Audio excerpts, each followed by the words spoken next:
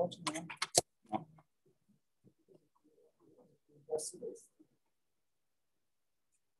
Però sembra proprio una linea di alimentazione capito? Perché lì regoli il livello. Fatto non succeda.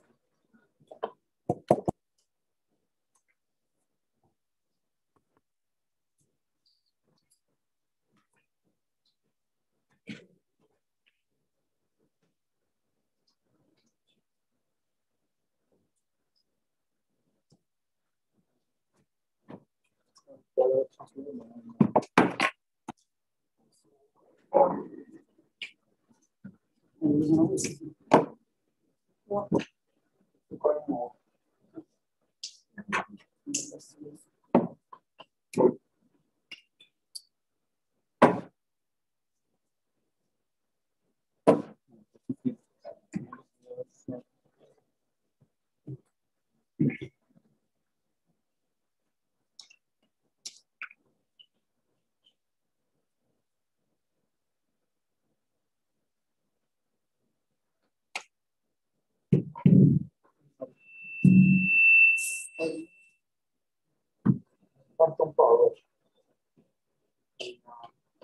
Aspetta. Buonasera. Telecamera basta un po'. Bisogna salire e spostare. No, ci saranno. No, mi sa che... C'è la... No, questo. No, no, è quello là, ma mi sa che più di tanto... Non c'è un telecamera per quello. Questa? Sì, per quello. No, quello è quello.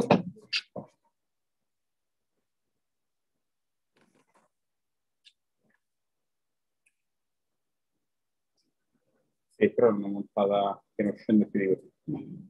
Bisogna... Se, Se no, eh, cambiamo telecamera. Non ci sta vedendo.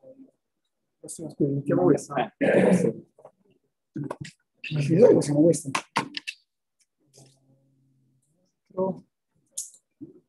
Questa.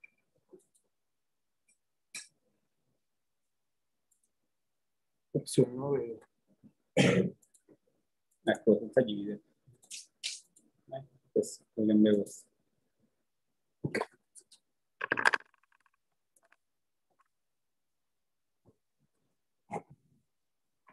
Allora, ce l'abbiamo fatta. Allora, benvenuti, eh, apriamo la sessione di laurea eh, ingegneria industriale. La commissione è composta, quindi io sono il presidente, quindi il professor Stefano Rossi e i membri sono il dottor Iuri Taborri e il dottor Gabriele Loreti. Allora, chiamerei il candidato Giorgio Pieri.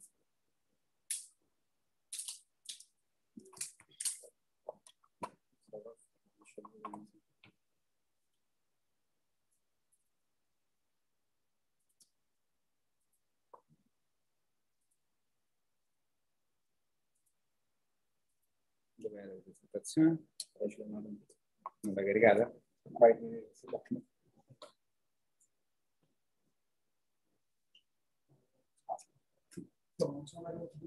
Va bene.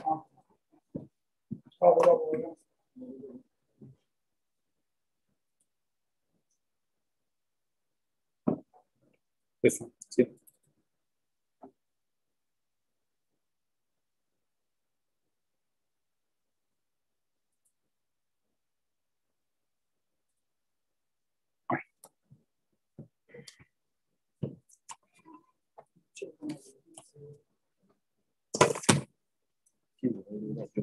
Quello è. Sì. Delle animazioni nella presentazione. Sì, un video. Ah, possiamo. Quello è questo. La...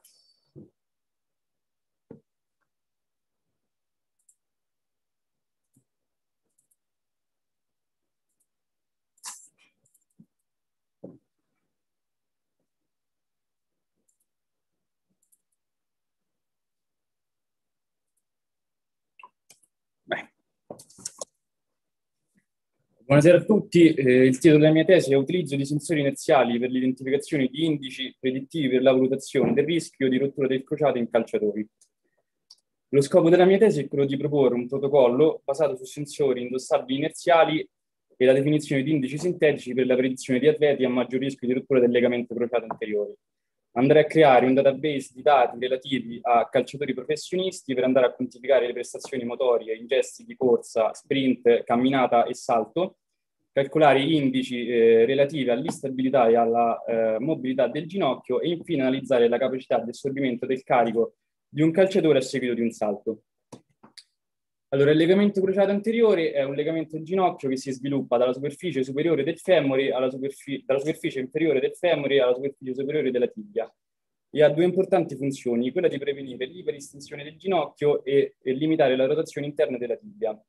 Nell'ambito sportivo eh, il meccanismo di lesione più frequente è il movimento di eh, rotazione eh, quando il piede è fisso al suolo a seguito di una rottura del crociato o di una lesione, la cura può essere tipo o conservativo o, o chirurgico, quindi ricostruzione, un'operazione chirurgica, segu- eh, in, base allo stile di vita del paziente, le richieste funzionali dell'età. E a seguito di una, di una ricostruzione chirurgica il tempo di recupero è di 6-7 mesi.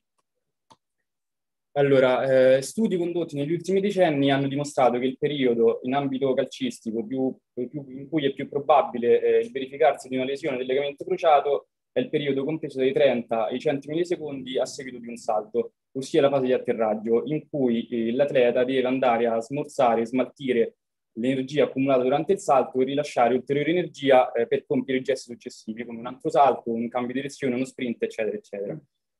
Naturalmente in ambito calcistico, a seguito di una rottura del legamento crociato, è necessaria un'operazione chirurgica, quindi una ricostruzione, e è molto importante a seguito della ricostruzione andare a monitorare lo status dell'atleta per permettergli un sicuro rientro all'attività sportiva.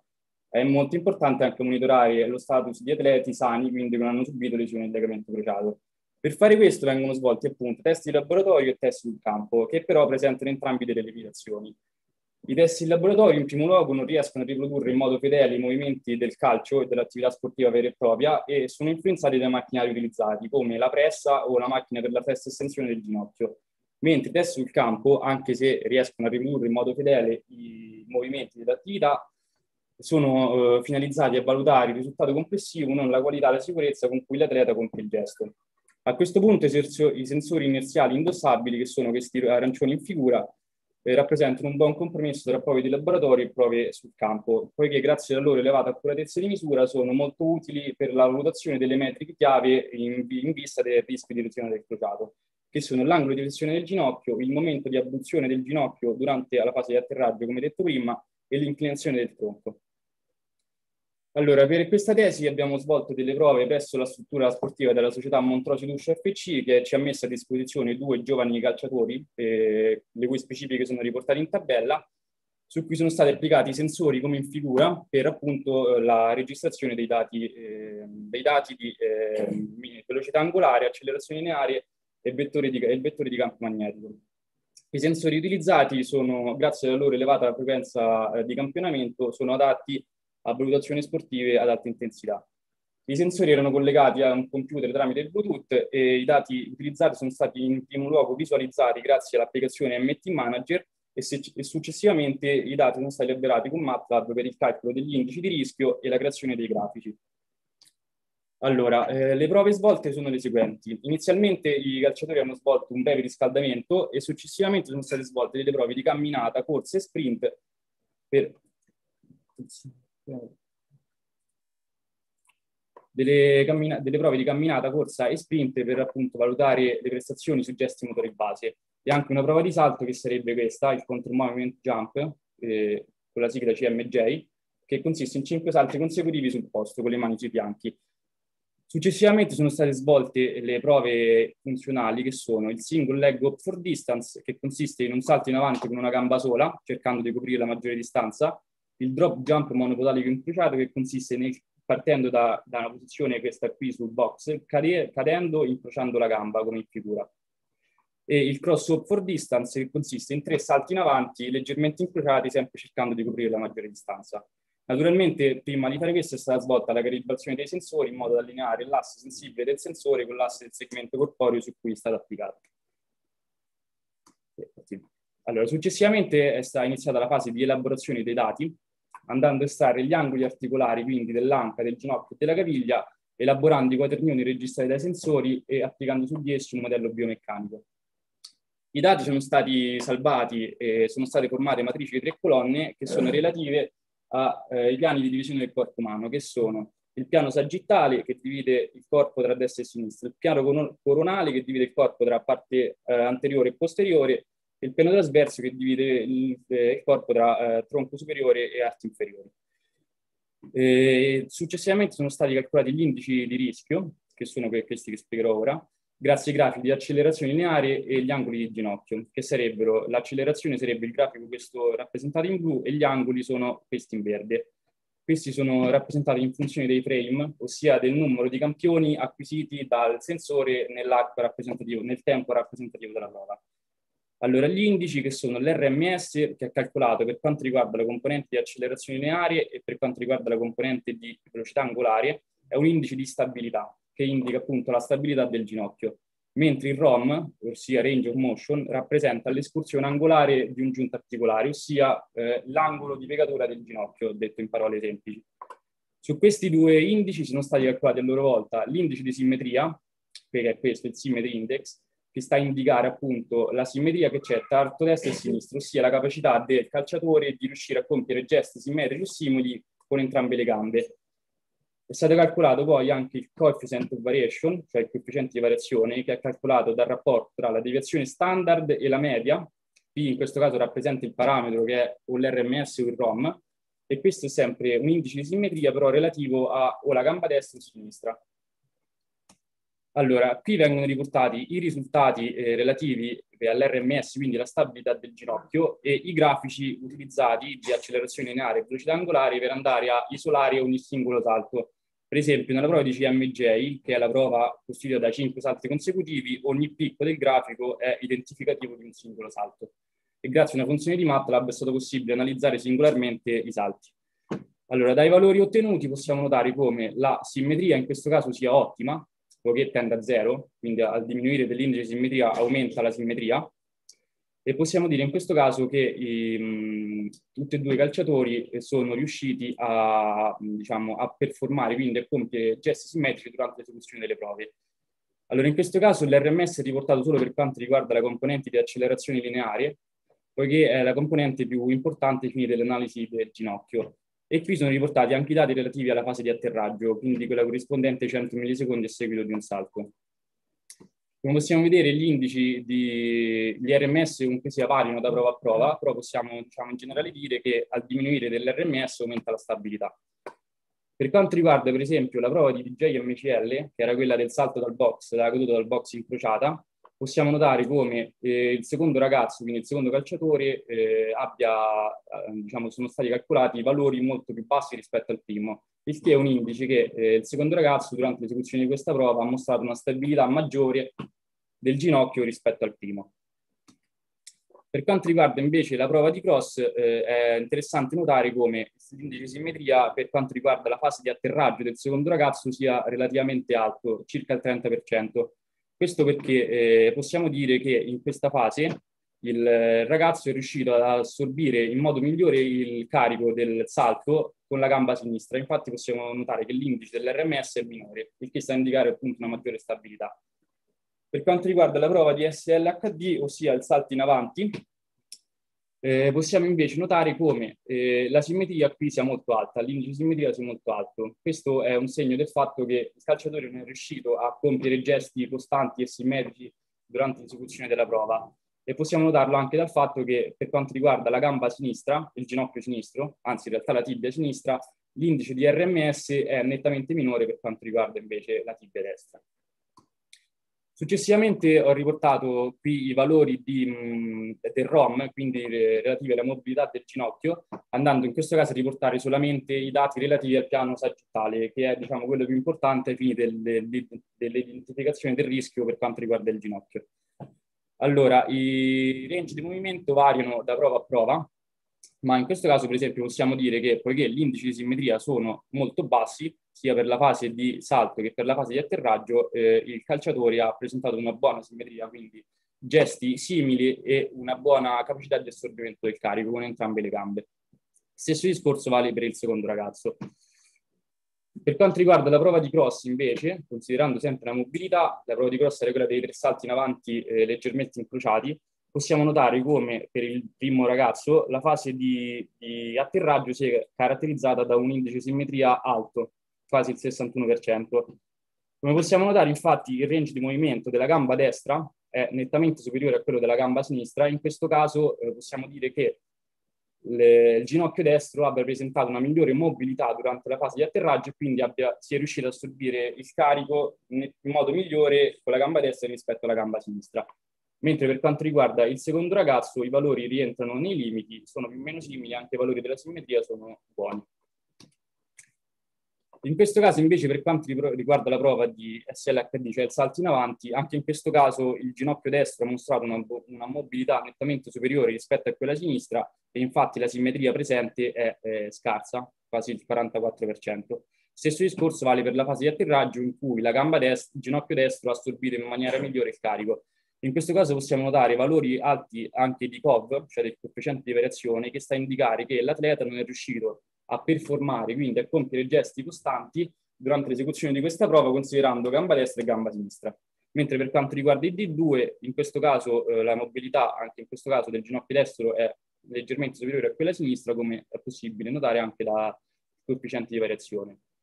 Per quanto riguarda invece la prova di DGMCL, quello che ci salta all'occhio eh, in primo piano è che eh, i valori del ROM per il D2, cioè per il secondo ragazzo, sono maggiori, nettamente maggiori per quanto riguarda il primo calciatore. Questo eh, sta a indicare il fatto che durante questa prova il secondo ragazzo è riuscito a, ha mostrato una mobilità del ginocchio nettamente superiore rispetto a quella eh, del primo ragazzo, quindi del primo calciatore.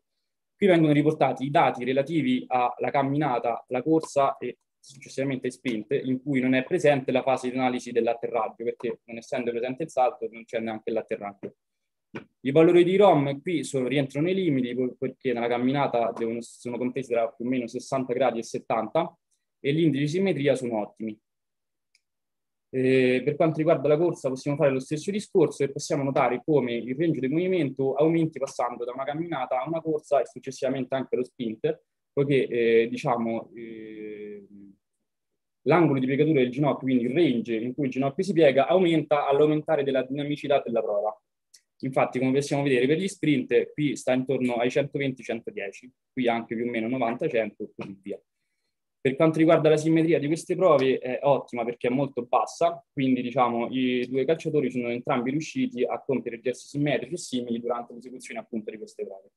Ah, questi sono i grafici con cui siamo andati ad per quanto riguarda le fasi di camminata, corsa e sprint, sono i grafici che rappresentano gli angoli di piegatura del ginocchio, ossia eh, ogni angolo praticamente, ogni picco rappresenta un passo, quindi un passo fatto durante la camminata, uno durante la corsa, sprint, eccetera. Allora, in conclusione possiamo dire che i due giovani calciatori hanno mostrato ottimi, buoni valori di ROM e RMS perché rientrano nei limiti eh, riscontrati in letteratura, quindi fatti da studi precedenti, e anche è stata riscontrata anche un'ottima simmetria per quanto riguarda prove di corsa, sprint, camminata e CMG, cioè i cinque salti consecutivi.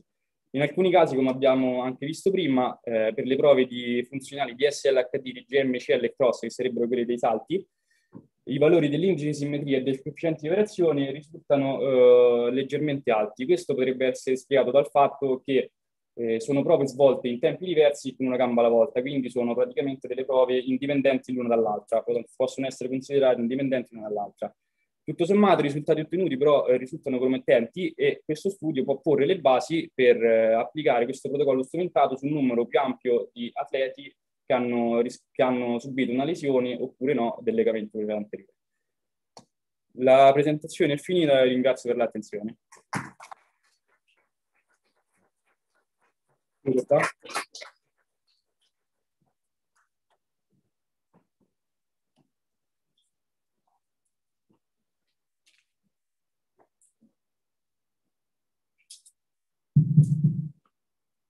Grazie. Ottimo, sei, sei scappato un dottore. Possiamo fare qualche domanda? Certamente. Volevo sapere diciamo, in quali termini questa metodologia possa essere applicata uh, altri comparti di attivazione del ginocchio o altre articolazioni? Allora, per quanto riguarda questa tesi, noi avevamo estratto gli angoli anche per quanto riguarda l'articolazione dell'anca e del ginocchio, dove appunto i sensori erano messi sia sulla schiena, sulle, sul mm, femore, la parte esterna del femore, sulla tibia e sul collo del piede. Quindi diciamo, eh, gli angoli e le accelerazioni erano, sono stati estratti e le velocità angolari sia per quanto riguarda caviglia, ginocchio e, e anca. E questo, diciamo, questo studio naturalmente per fare poi delle conclusioni prettamente statistiche deve essere esteso a un numero superiore di campioni, appunto per, se no diciamo, dal punto di vista statistico queste considerazioni non avrebbero senso. Noi possiamo fare delle considerazioni andando a visualizzare solo i dati relativi a questi due ragazzi. Va bene, grazie. Grazie a lei. Posso?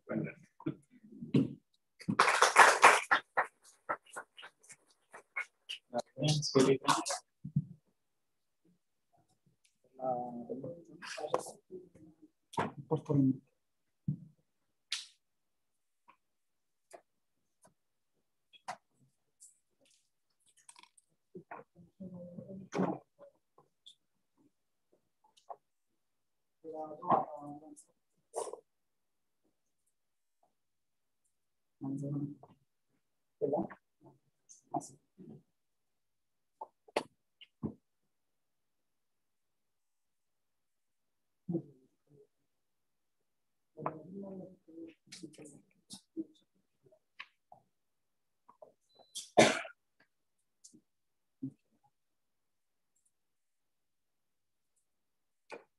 Ok, salve a tutti, eh, vi presento la mia tesi.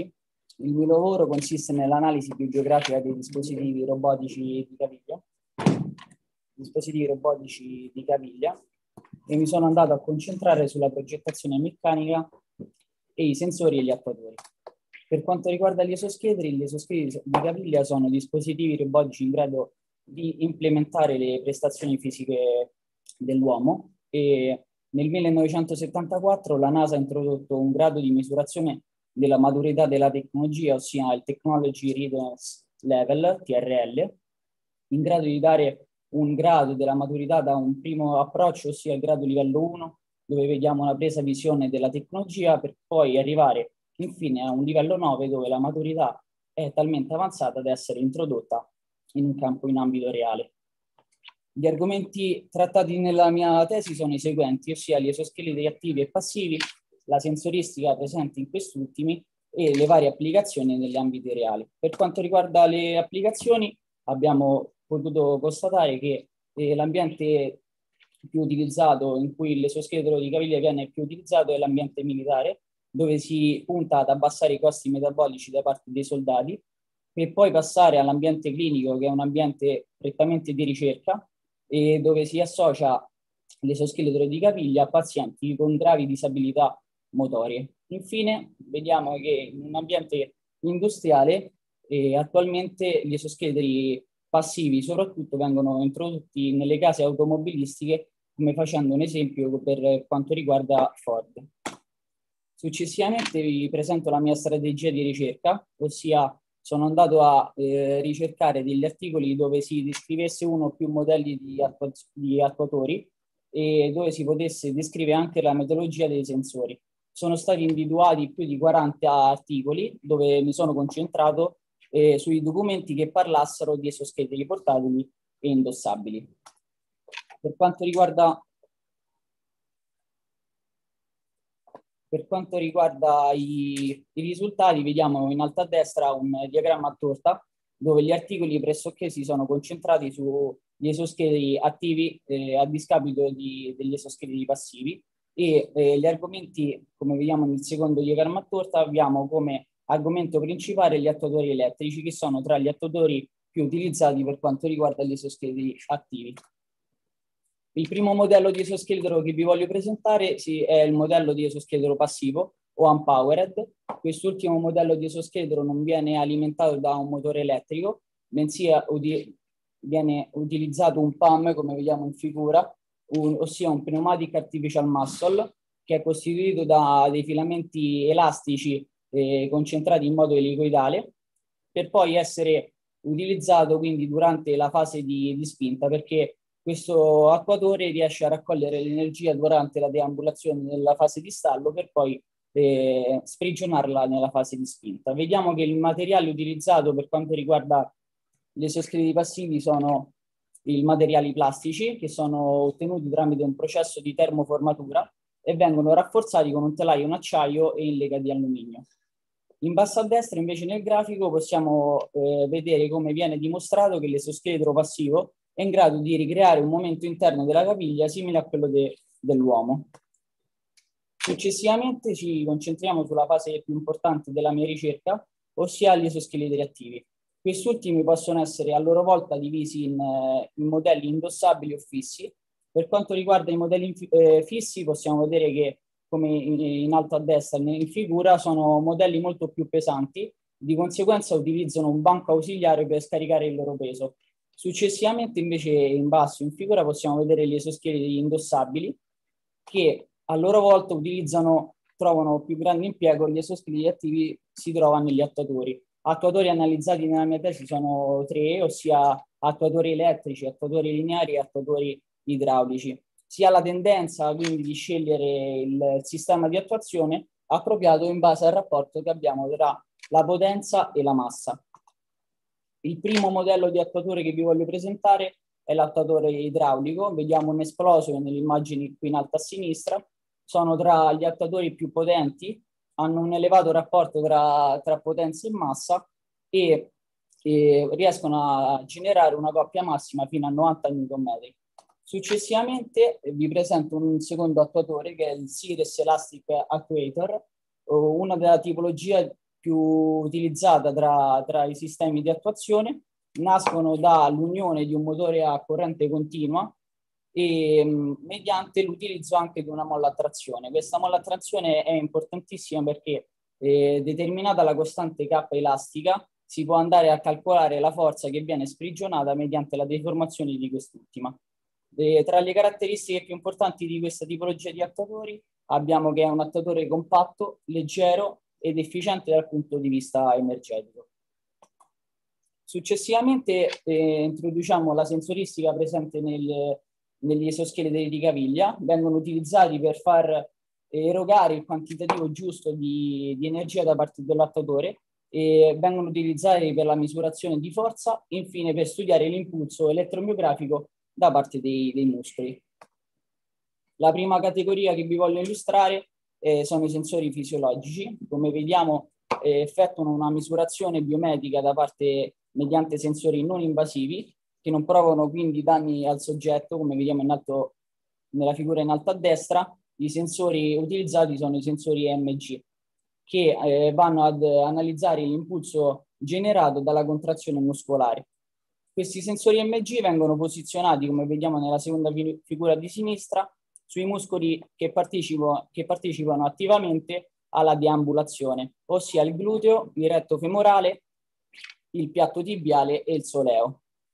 E successivamente in basso a destra vediamo come la risposta degli, dei sensori MG si, si riduca in maniera drastica eh, mediante l'utilizzo degli esoscheletri attivi però allo stesso tempo eh, i sensori MG trascurano le trasformazioni non lineari e hanno una risposta che varia in base all'utente.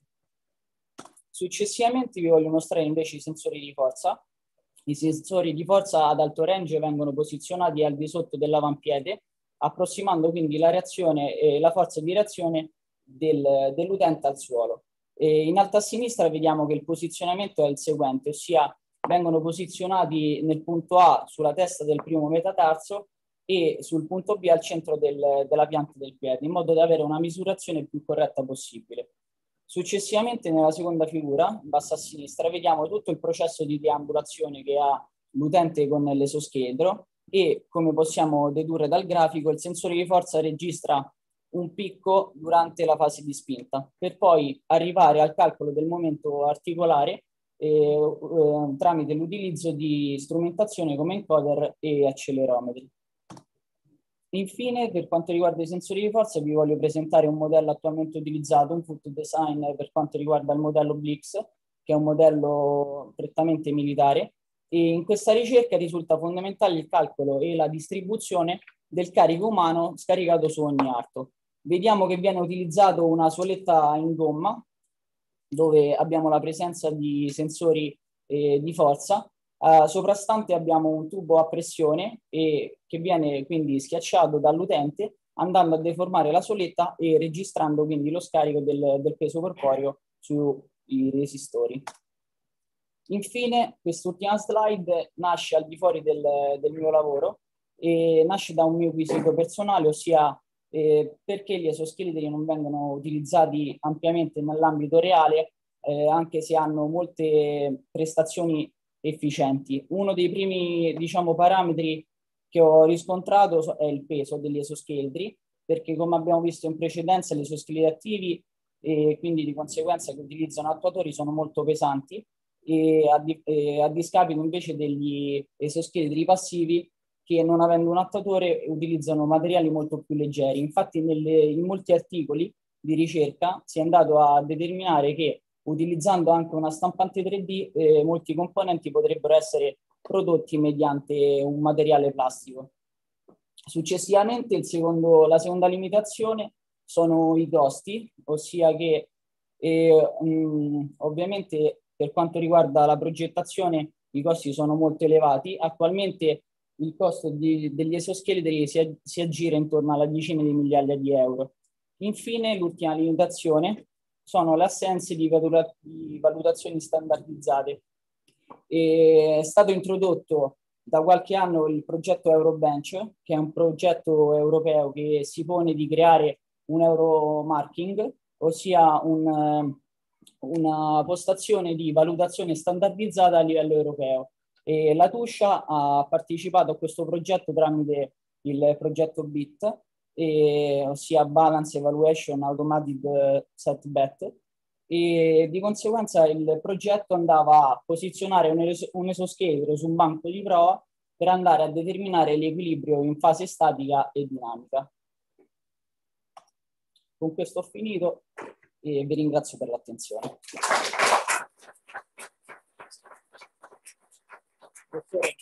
Prima io non ho consegnato. Domande? Ok, perfetto. E grazie ancora.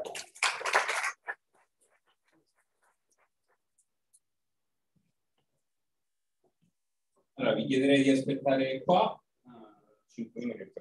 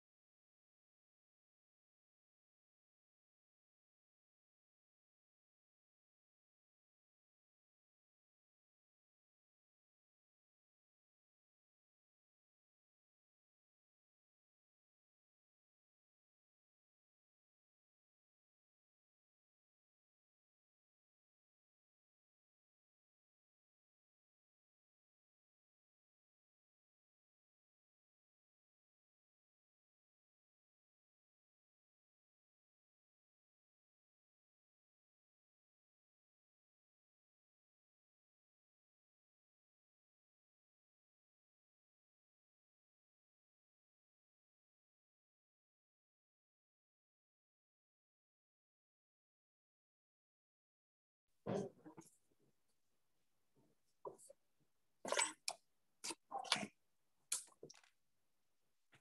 festeggiate dopo? Sì. Eh, ne sapete ancora. Allora, quindi inquadriamo, voi.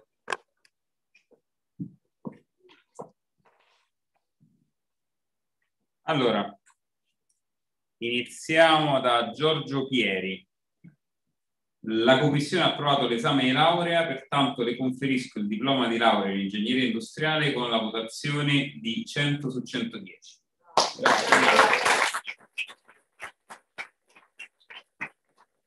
A Lorenzo Pietranera, la Commissione ha approvato l'esame di laurea, pertanto le conferisco il diploma di laurea in ingegneria industriale con la votazione di 90 su 110.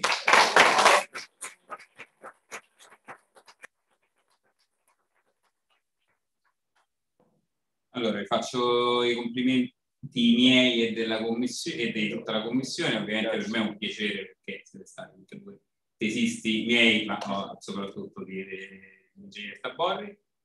E vi auguro un bocca al per il futuro. Se volete rimanere da noi, ovviamente siamo ben contenti di ospitarvi. Qualunque dubbio avete sul proseguo, mandatemi un'email, ci sentiamo.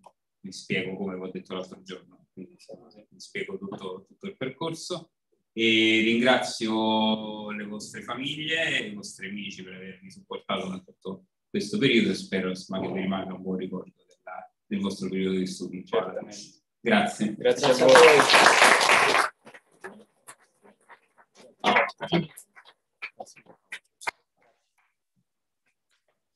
La sessione è chiusa.